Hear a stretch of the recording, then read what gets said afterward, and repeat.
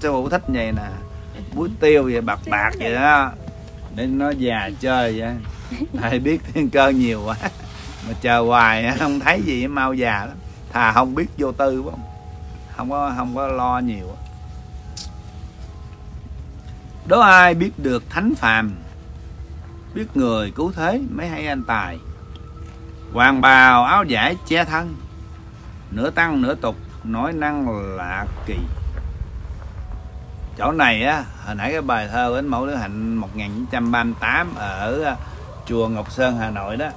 Màu có nói là à, thầy tăng mở nước vậy mà mới hay. Thầy tăng mà sao mở nước? Tu tu phải không? Mà cái người này ở trong lòng á là tăng mà ở ngoài á là khác. Cho nên à, có cái bài thơ mấy gì cũng cũng trùng hợp á. Thầy à, thầy tăng mở nước vậy mà mới hay á tức là là lo về quốc gia đó. Mấy gì có nói mà, thầy tăng mở nước vậy mà mới hay. Thì đây là hoàng bà ở dạy cho thăng nửa tăng nửa tục, nói năng lạ kỳ, ngu ngơ, giả dạ giả thật. Nửa mê, nửa tỉnh, nửa răng dạy người. Nói năng làm việc dị kỳ, cật đùa đủ hạn, vuốt râu của rồng. trong hãng thù.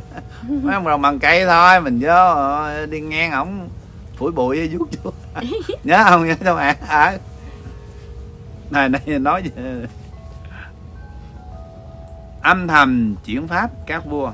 Câu này á, nếu mà người phải hiểu á, là khi mà mình nói thiên cơ nãy mình đọc vậy á, làm cho người ta dễ có một định hướng là tính cái trí tuệ của con người học có giỏi cỡ nào nữa cũng không bằng ở trên trời tính sẵn rồi.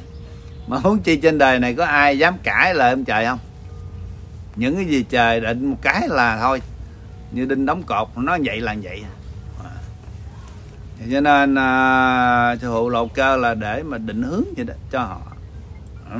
tao đưa ra đó đáp số rồi đó. Là không cần phải ngồi tính làm toán đố mà đưa đáp số luôn á đưa sáu số chúng luôn á. Đặt đi. Đặt thiên tâm là, là thành phật liền là về trời liền đúng luôn á. Chánh đạo. Vậy mà nhiều người cũng không thèm đặt nữa. Sáu con số nữa.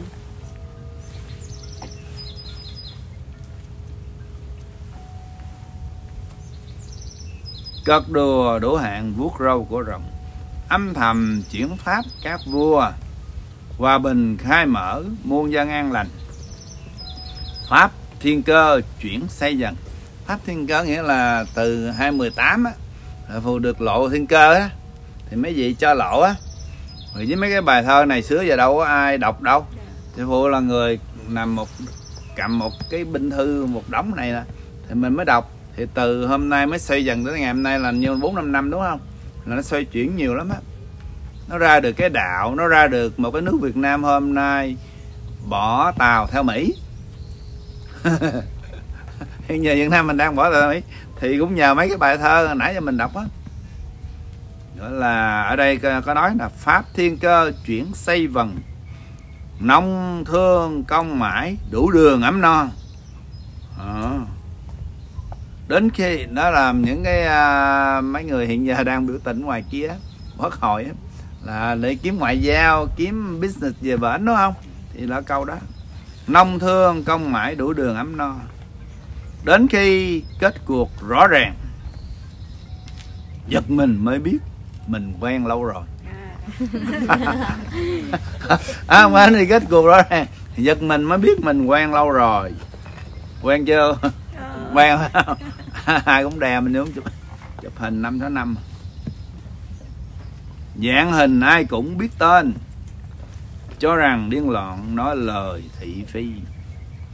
Cho nên mới rẻ, mới khinh. Nhờ đó mà sống đến ngày hôm nay. Đến khi muốn biết là ai, vì sao ẩn hiện không ra độ đời. Thương cho sanh chúng u mê. Không biết á, mấy cô thơ ký hồi à, trước khi phụ mua nó này. Phụ biết hồ thiên tử. Tại có mấy ông rộng đó, ngày nào cũng nói chuyện với mấy ổng nó không bay vòng vòng mà ngồi thiện phụ. Ờ, không tin là không tin cứ nghĩ là sư phụ thích collection à, gỗ rồi vậy đó. Không phải. Mà, đến lúc mà nhà ba bị bệnh hay da à, da có bệnh á ô anh chị khấn khấn giùm khấn cái là hết bệnh. Không đụng tới mình á mình xin điều là được hết. Vậy mà mình nói là nhất định không ai tin. Cho nên là mình mới buồn phải không? Từ trước khi có cái núi này luôn chú biết ở dưới chùa thì cũng có nói cho họ biết mà họ cũng không tin. Ngộ lắm. Không phải dễ mà tại vì ngày nào cũng gặp mặt rồi đấy mà cái, cái mình nói. Mình nói là tôi không phải là kiệt ngô tôi vậy vậy vậy không ai nghe mình. Bạn cũ anh em hay là mấy thằng làm chung bạn mấy chục năm cũng vậy. Ly lắm. Khi mà đã biết rồi khó tin nên mới nói là ẩn ẩn hiện hiện vì sao ẩn hiện không ra độ đời? Thương cho sanh chúng u mê. Hiện ra chỉ có phụ người mà thôi. Đúng là phụ người. Gần à, lúc mở cái núi này gần 5 năm trời. Không ai hiểu. Đến lúc mà gần à, tới mùa covid mà nó bộc phát lên á, thấy chúng sanh sắp bị chết như là củi á, bắt đầu mới buồn buồn, mới vô ngồi vu vơ, có một chút xíu mười mấy phút lúc đó là bắt đầu ra nói chút chút. Ngồi ấy cái clip mà số 1 số 2 từ đó tới ngày hôm nay, bắt đầu mới ra nói luôn.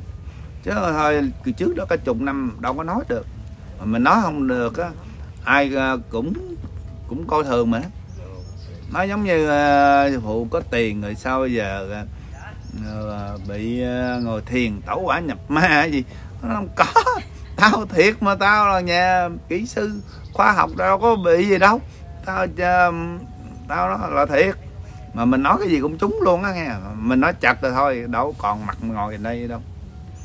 Vậy mà tao cũng không không nghe. Thương cho sanh chúng u mê. Hiện ra chỉ có phụ người mà thôi. Đường tu sanh chúng uh, sanh chúng lu mờ. Mê mà chấp pháp kẹt đời làm sao. Cho nên ẩn ẩn mờ mờ, khuyên cho sanh chúng tịnh tu mau thành. Của một vị thánh viết năm 1929 tức là mấy vị đã đã nhìn thấu cả cuộc đời của hộ là hàng trăm năm, hàng nghìn năm. Thì mấy vị đã nói trước. Cũng như ông đức thầy hồi nãy viết cái bài xuân hạ tác cuồng thư á, là cái bài đó năm năm bốn mốt. Cái vụ thanh năm sáu lăm tức là nhiêu năm? Hai mươi mấy năm sau. Mà đức thầy đã cho cái tên sẵn vậy rồi.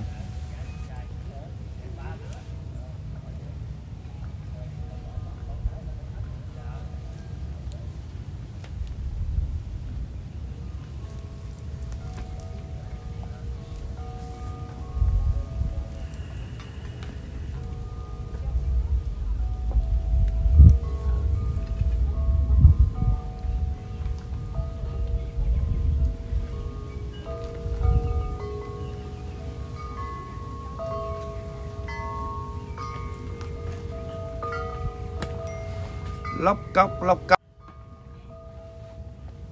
nghe thằng nói dốc. Cái này của, cái này của đức thầy nghe. Lóc cốc lóc cốc nghe thằng nói dốc là mình biết ai nói dốc rồi phải không? Không có cần nói. Mang thân đi học, rồi lại đi tù. Bữa ông bố già ông giải thích rồi đó, bài này. Nghe là học ra sĩ quan Đà Lạt rồi lại đi tù. Rồi sao lại đi tu là trong tù, ăn khổ quá rồi đi tu quá không? Như tu à, sao lại đi tu? À, ăn chay rồng rã từ năm con mã đến năm con mùi vợ chạy ngược xuôi mang ra đồ mặn thế thì đã thắng. Nó đói mình nó nó lo mình sướng sự đời khó tưởng tù sướng hỡi cay. Hỏi ai thắng ai rồi cười vỡ bụng. Ai than nghèo túng ai xin tiền tù. Ai khôn ai ngu giờ đây đã rõ. Màu vàng màu đỏ. Ai nở bỏ vàng ba sọc ngang hàng lại treo khắp nước. Cái bài này năm 1978 cách đây uh, ngay cái ngày lễ đây nè mấy gì cũng nhắc lại. Ta sẽ hẹn các ngươi á, khi nào cờ vàng ba sọc ba sọc đỏ đó, treo khắp nước. Cho nên đó sư phụ dám một triệu phần trăm ai muốn cá thì cá. Cờ vàng ba sọc đỏ treo lại khắp nước. Mà theo hiện giờ á nghĩ là ở trong nước. Những nhà lãnh đạo của Việt Nam bây giờ họ cũng hiểu. Chỉ có lá cờ này á, là Hụ đã nói rồi nó đã có credit. Nó đã build cái credit sẵn rồi. Đến khi mà Liên Hiệp Quốc hay là IMF hay là World Bank mà chấp nhận cái lá cờ này trở về nước Việt á hay là mình mượn tiền lẹ lắm nó có nó có full uh, pro uh, cái resume của nó rồi. Một cái uy tín của nó rồi và đồng thời á nếu mà nói về một cái à, lịch sử ờ nó chỉ tạm vắng mặt có 50 năm thôi. Nó đâu phải là là lạ gì nữa đâu. Thì thì nước Việt hôm nay là thành phố buồn phải không? Chúc mình ca bản thành phố buồn. Thành phố buồn nhớ không em? Bây giờ Việt Cộng á, nó đổi là thành phố nào? Vô lý. Nhà sáng tác của ta rõ ràng hồi xưa các bản thành phố buồn thành phố buồn. Còn hồi bữa à, tấn ngọc ca là khác nha. Tôi thấy cái bài karaoke mới đây để là thành phố nào? Ủa, thấy cái tựa là thành phố buồn mà ca ra là thành phố nào? Nó đổi một chữ một thôi. Là khác biết bao nhiêu rồi. Ba sọc ngang hàng lại treo khắp nước. Cho nên giờ ai mà muốn làm giàu á, cứ mai cà vàng ba sọc đỏ chôn đầy ở trong nhà gốc cây đi sẽ có một ngày một hai ba đem ra treo một cái. Là, là bán cho hàng xóm. Ok lúc đó 10 triệu một cái cờ có miếng vải vàng thôi nó cũng người ta cũng mua nữa. Ta ta mừng quá ta mua. Ba sọc ngang hàng lại treo gấp nước. Vàng được đỏ thua. Vàng vừa lên giá từ năm con mã sụp năm con mười ra hàng gấp gấp miền Nam núi sập rắn nở rồng bay hết thời tụi bay. Mà sao không biết cái câu mà miền Nam núi sập rắn nở rồng bay á là lúc đó cái đạo thiên tâm về là mấy ông rồng của mình á. Ông ra xuất hiện. Có à, hồi xưa này xin lỗi xin lỗi mình hồi xưa thích long bình long cũng không có xuất hiện trên mây cho mình. Cũng là sau này thù sinh cha cho để mà độ. Tại vì à, trong sấm cơ đức thầy có nói, ai có phước mới thấy rồng phụng trên mây. Ở cái thời này, đúng không? Nhưng cỡ cái tuổi này mà từ ba của cao đồ, ông nội cao đồ cũng chờ cái ngày này, đúng không? Chờ đâu có nổi, đứt bóng hết. Giờ tới đời ổng. Ổng hôm nay nhiêu, tám chục, phải không? Coi như ổng là hên nhất. Ổng hên nhất, ổng còn ngồi đây thì ổng thấy được rồng phụng trên mây ổng sẽ gặp được hội long hoa. Ở trên nước việt mình, ai mà hiểu về tiên tri á, ai mà hiểu về sấm cơ á, đều phải mong ước có cái ngày đó. Tại cái ngày đó đó là là là đã được sàng lọc. Người tốt mới còn mới còn à, ở lại tới ngày đó. Thì bây giờ, mấy gì có thấy không? Mình qua mùa covid, mình còn ngồi đây trong đó người thân của mình với bao nhiêu người mình biết ở Mỹ hay Việt Nam hay nhà thương ở đây nó chết như củi à, mình năm 2020 19 mình thấy không? Cái chết nó rất là phù du. Mà ở trong nhà không á, nguyên một năm trời, chứ phụ ở một năm trời á, ra cái là thành tóc bạc luôn. Chứ là nhìn cái hình mặt cũ ấy, nó còn bơ sữa. Còn bây giờ á, mặt này là Ờ, chỉ có nằm trong nhà nó mau già, với lại mình là thấy là cái chết rất là mong manh với chúng ta.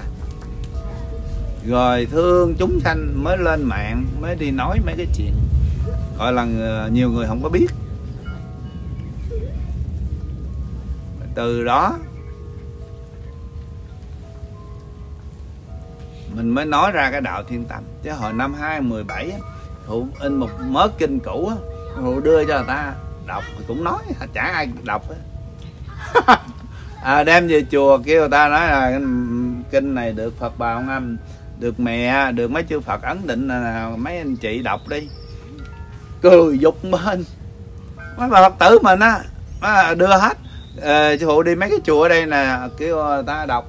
Tại mình đang tận thế nè. Mày bắt cười mấy mày điên nữa. Mà ngã mạng dữ ha tu kiểu nào giờ muốn muốn làm gì? Muốn phá đạo hả? À, thay đổi kinh hả in kinh đồ à, của thiên long sơn nữa. Trời nó chửi mình nát luôn. Chúng sanh nó vô mình. Mà thời đó mấy vị kêu đọc cái kinh này sẽ được cứu. Còn kinh ông chùa nó cũng giống như mình nhưng mà thiếu một cái bộ phận quan trọng là khi mà đầu vô kinh á là mình có cha có mẹ mình lại cha lại mẹ. Rồi sau đó mình cũng lại chư phật. Nó chỉ thêm có nhiêu đó thôi rồi họ không có biết kinh địa mẫu thì mẹ kêu lấy kinh địa mẫu ngắt ra một khúc. Mà quan trọng là hiện giờ mình đang có. Còn kinh địa mẫu việt nam họ cũng đang đọc nhưng mà họ đọc dài lắm. Là vì họ thêm mắm thêm muối người đời vô. Mẹ nói những cái lời của, của mẹ chỉ trúng có 20 30 phần trăm của bên Việt Nam thôi. Còn cái này của mình là của của mẹ hết còn kinh địa mẫu mà của Việt Nam con đọc thử đi. Họ dài á nhiều họ cứ phạt với thưởng trong đó. Cho nên thành ra đó là do bên mấy ông thầy mấy ông bỏ vô đó để mà bôi bác con hiểu không? Làm hư. Tức nghĩa là họ muốn phá bên à, họ muốn cho phật tử cứ nghĩ ồ à, mẹ là à, phạt mẹ thử không có mẹ hiền mẹ là phật mà. Mẹ là mẹ của tất cả các phật. Mà mấy ông thầy mấy ông làm gì? Sửa kinh rồi bỏ vô hành tiêu tỏi. Sư phụ có nghe cái clip mà của ông thầy nhất trúc thái minh á, ổng nói xấu, ổng nói thạnh tệ luôn á. Ông nói về kinh địa mẫu mấy ông đó nghiệp nặng luôn rồi bắt đầu sao? Làm cho phật tử mà đọc kinh địa mẫu rồi quải lắm. Ồ, bài dữ quá. Ý gì, ý hồi vậy? Nghe là ai vô minh? Ông thầy ông vô minh thì mình không nói, mà phật tử cũng vô minh nữa đã biết phật mẫu ra là phật, mẹ của tất cả các phật. Thì làm gì mà mà vậy mà mà người cũng tin theo. Bây giờ nói vậy. Còn nói bây giờ, sư phụ là con của cha mẹ. Mấy con biết, sư phụ có bảy ông hậu an mấy ông thầy có một dòng. Sư phụ là từ bi như vậy, sư phụ đã từng đã là phật rồi. Phật nhỏ chứ không phải phật bự nha. Không, phật cũng là một bồ tát hay cô ở trên trời. Thì phụ mới đi từ thành tinh này thành tinh nọ. Phụ mới được cha sai nhiệm vụ quan trọng xuống có ấn chứng của thượng đế mới lập ra cái đạo. Thì có nghĩa là cái gì? Có nghĩa là sư phụ phải hiền hơn mấy ông thầy hiện giờ đúng không? Công nhận không? Dạ. mấy có công nhận không? À vậy mà mấy bà còn chửi ăn kiết này ăn kiết kia thầy tôi dạy đâu có như vậy. Con thấy vô mình không? Về chùa đi.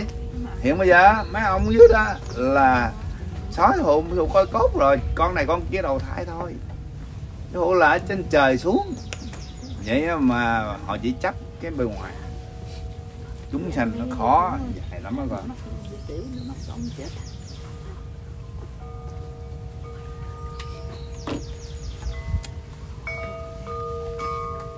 Nếu mà một người mà vô minh, mà cực kỳ mà vô minh nhất đi, cũng thấy là hồ chưa từng gây quỷ hay sinh ai đồng nào thù cho không hết. Thù kiếm chuyện để cho mà bình thường mà cho đó. Thì mấy con sẽ tự ái, đúng không? Phải có chuyện gì đi thù mới cho. Mà cũng không dám cho mặt trước đông người nào nữa. Để mà cho đệ tử mình biết là nó thương mình, nhưng mà nhiều lúc tụi nó làm thiếu income, rồi đi qua đi lại, tốn giá máy bay đồ á. Mà không có không muốn spoil tụi nó. Tôi cũng muốn lắm mà đâu phải dễ cho tiền đâu đâu phải có tiền muốn cầm cho ai cho được. Tôi chỉ nói một cái thôi là đứa nào làm gì á mình có cái phần của thiên tánh này có cái quỹ có account lớn này. cứ đưa receipt cho ông Trinh là sẽ rồi cái đưa cái routing number sẽ có người quay transfer trả lại hết. Một uh, bao nhiêu cũng cũng phải nói chứ còn cái này mình đi đường dài á, mình cần những người có cái à, cái idea, có cái sáng kiến, rồi ngừng có cái tâm. Con nên nhớ một cái buổi lễ lớn là chỉ cần 10 người mà có tâm thật sự thôi, là cái buổi lễ nó sẽ không có bị error gì hết. Nó sẽ hoàn chỉnh. Mà nói thí dụ nha, thí dụ như hồi bữa đó bữa lễ của mình ở đây, cái mình thay mình chảy miếng máy giải xanh đó mình lấy giải xanh mình chạy ở đây thôi, là một đống người ở đây cũng có thể quỳ lại được rồi, thay vì lại trên đá, đúng không? Mà lúc mà sư phụ quỳ ở đây á, bụi ở đây nó cũng không bay nữa, ở ngoài đó đâu cần đâu. Có thí dụ như nữa, là một người mà có idea, thấy thiếu, chạy xuống hôm thì vô có 15 20 phút, giỏi làm nửa tiếng, cũng mua. Trong khi mình chuẩn bị trước cả mấy ngày, đúng không? Chút chút chút chút vậy đó. thì cần có những cái người có đầu óc, có cái tầm nhìn, thì mới nhìn thấy được mấy cái đó. Rồi, thí dụ với một cái đám đệ tử ngồi đây nè. Có bảy rồi nữa, bảy trong chùa là ngày nào cũng đốt nhang. Vậy mà thấy cây nhang đó, vậy mà cũng để cho đem ra ngay cái bữa lễ quan trọng. Cho nên tại sao cái hộ buồn là vậy? Có nghĩa là ai cũng điều ấy hết, nhưng mà chỉ cần một chút xíu, nhìn sang chút thôi là mình đã phát hiện được rồi. Cứ người này ỷ qua người kia. Thật sự là lỗi của phụ bữa phụ ngồi đây. Thấy cả đống người ngồi bó bó cái phụ cứ ninh ninh là ồ mấy người này à, ngày nào cũng đốt nhang là dĩ nhiên chuyện dễ ợt vô đâu cần phải ra ngó làm gì. À, cái đó cũng là một cái quan trọng. Con Nên- tưởng đâu nó chiếu chiếu đẹp sao vậy? với lại mình không chứ chứ đẹp hả? Dạ con tưởng vậy thành ra con cũng làm thinh luôn. Con nghĩ thì là đó nó bị nó bị một cái misunderstand. Mà khi cái đứa đệ tử này mua lặng thiên viên là đệ tử phụ thương nhất trong đám nữa cái tâm của nó lớn dữ lắm đó còn dạ. nó mua là lựa mất tiền. Nhỏ này nó kêu sư phụ là ba không á tại phụ cứu nó cũng nhiều. Nó thật sự là nó không phải như vậy. Tất cả chúng ta mọi người phải đều có một chút ý thức chút chút chút chút. Ví dụ như ờ, bữa đó cũng may á bác ngư không có bị té nó không cũng làm chuyện lớn á con. Dạ. ổng mà té cái là nguyên một đống mấy chư Phật cũng quảng hồn ngó về ổng nữa có phải ông bị mất phước không?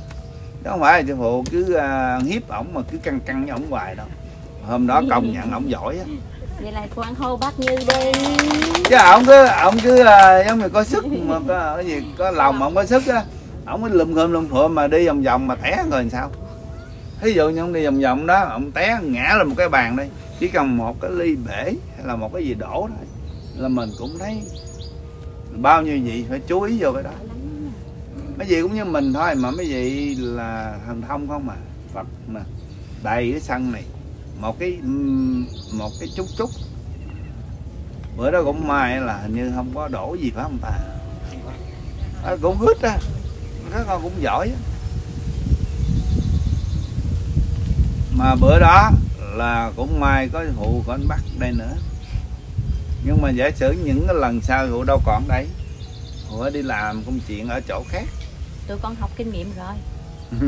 Rút Học kinh kinh nghiệm ra sư phụ thì hôm nay chủ nói là nói hoài cho mấy con nhức đầu luôn. Giờ hùng mới nhớ thêm phần mình mời luôn cái đám tùy tùng của ông Mohammed. À mình mấy ông ăn cà ri không mà à nấu đi luôn mấy ông thần bên Ấn Độ nữa. Đúng không? Mà mình cứ mua đồ Việt Nam không? Mấy ông đâu có biết ăn đồ Việt Nam. Ừ. nên lần sau mình xuống tiệm Ấn Độ á mình đặt lại mấy cái bàn của ổng đây mới coi theo tên đó ừ. ví dụ như mình mời ông quan đế công ổng cũng là vua nước tảo không mình đặt cái bàn đó những cái đồ món tàu hay à. bánh bao bánh bao Ừ. với mình phải à, cúng à, các các dông linh tuốt ở ngoài kia nữa ha sư phụ ha sư phụ là thiên tử sư phụ lo cho mấy vị lớn nhưng mà với lòng từ bi của mấy mấy vị hộ pháp với mấy vị bồ tát với ông sơn thần ở trên núi mình mấy ông thấy trong linh nó trồ khắp thế giới nó bu về đầy sân gót triệu triệu kinh kịnh luôn đứng ngoài thôi mà không được vô vào ranh giới này nhưng mà mình đâu có thể được ví dụ như con là chủ nhà con đãi rồi bạn bè con à, giống như lễ ra trường những bạn con giờ là bác sĩ kỹ sư đi. Tự nhiên cái thằng homeless ngoài đường con cũng đãi cho nó một bàn ở ngoài đường đó mà nó đứng ngoài đó nó đói tội nghiệp không sư phụ nghiệp thì bây giờ từ từ bắt ông phải xử lý nó. Nào giờ chú không có lo mấy dâm linh. Hôm chú lo mấy đứa hài nhi là dữ lắm. Tại vì ờ, chú không muốn đệ tử nào dính vô mấy cái đó. Còn ổng từ theo hay từ tới ông phải vô trọng ông đãi nó ăn chậu. Tôi không có đãi.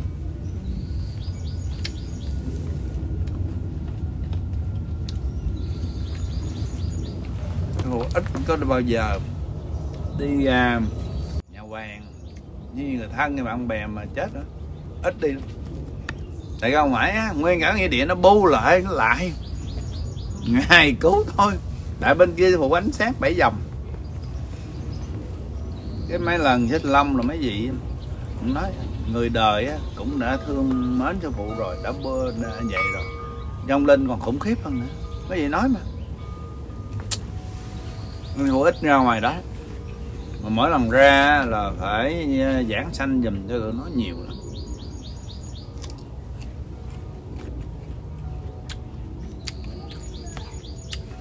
Có lúc chưa nó đi về trời đâu đi không nguyên cái nghĩa địa mà ở Alam Rock nhà vụ trên núi đúng không? Dạ. Lái xe ngang nghĩa địa Alam Rock cho đường 680 á. Mỗi buổi sáng đi làm. Ai với là Phật Amen. Vừa ai với là Phật vừa Amen luôn. Hay tất cả um, um, du gai đi về trời nha. À, ngày nào cũng phải vậy á.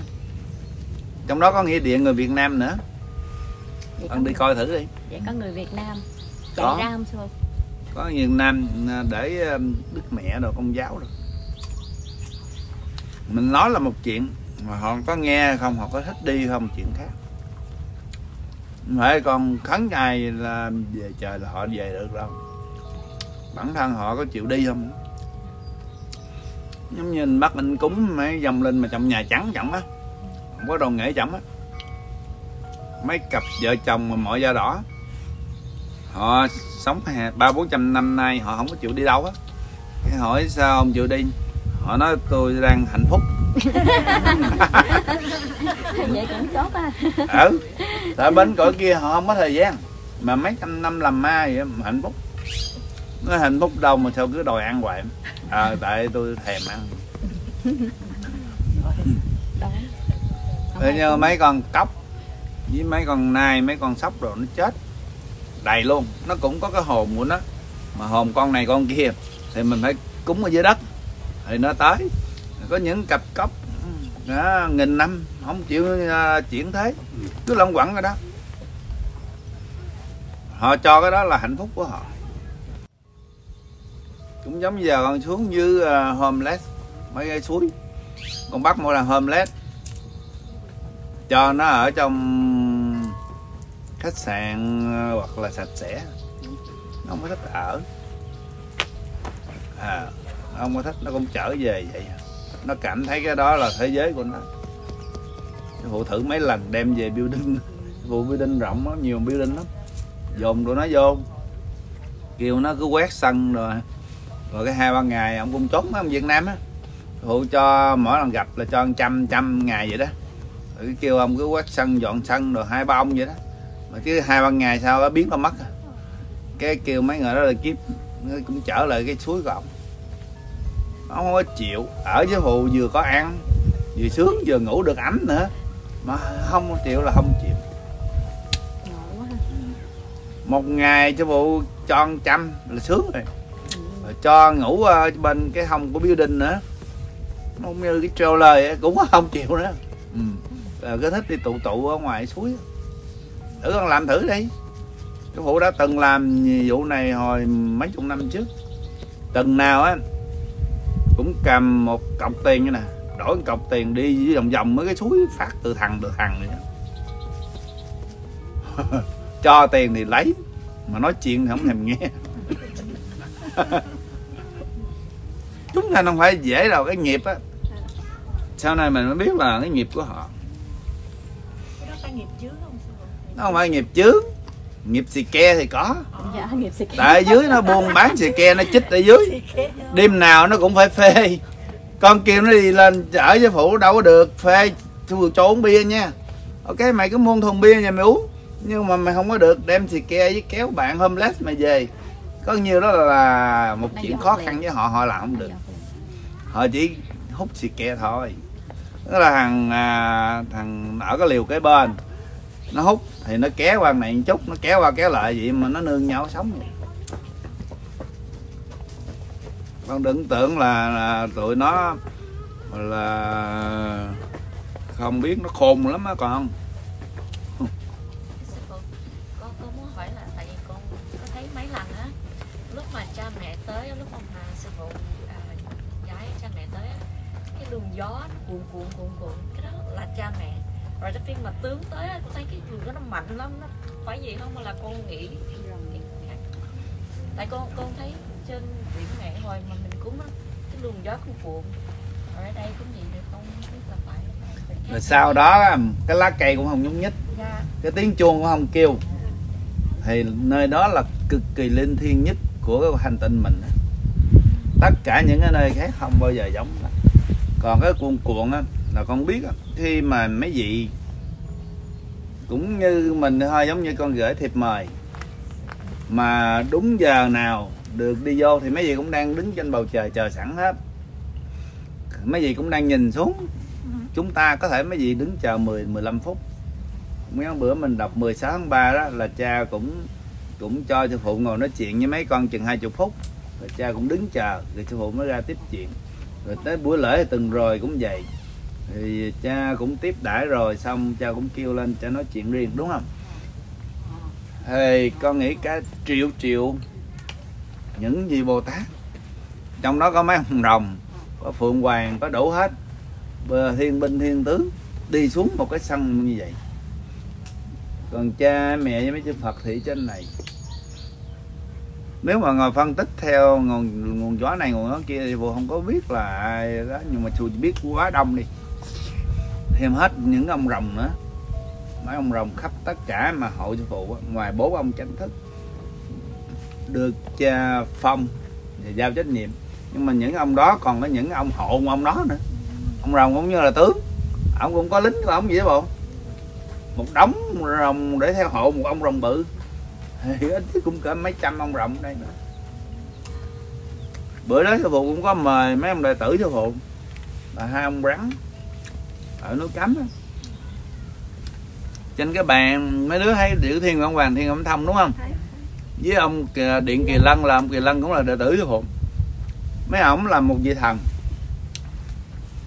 Thì dưới của mấy ổng á, là cái triệu triệu mấy người theo tùy tùng. Tại rắn nhưng mà tu lâu năm á, rắn khổng lồ á, cũng thành thần đó. con con tưởng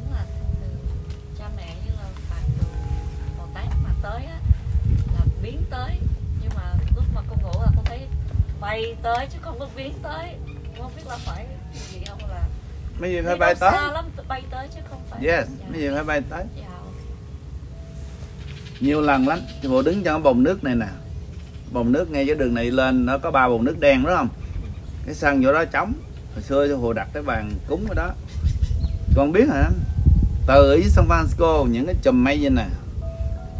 Đi đều lắm nha bay tới tới cái bàn cái từ nhân mai biến mất. Nó cũng giống như là là bong bóng mà pop vậy.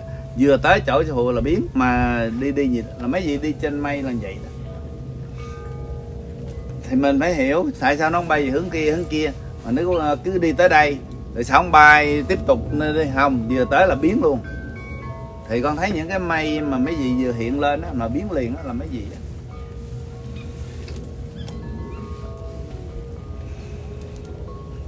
Ok. Ủa, đi. Restroom tắt cái clip này được. Đừng như người ta. À, đọc thơ nãy giờ cũng tiếng mấy. Rồi chủ nhật bữa nay. Không nhận. Làm được.